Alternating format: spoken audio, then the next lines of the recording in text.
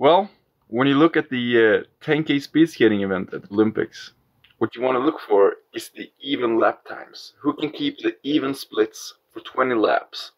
Because then it's just five laps to go, and the last five laps, anyone can push it hard on the last five laps.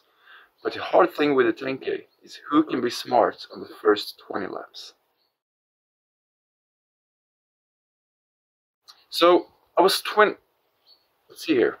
I was 12 years old when I decided that I want to become an Olympic speed skater. And to me, it was quite a far journey to go. I was from Sweden. We didn't really have any great speed skaters at the time, so I didn't have any role models within speed skating to look up to. But I set small goals. I um, cherished myself, for my small endeavors. And when you add those up, suddenly you're standing at that starting line at the Olympics. Thank you very much for your support. It means a lot to me to be a part of the Toyota family.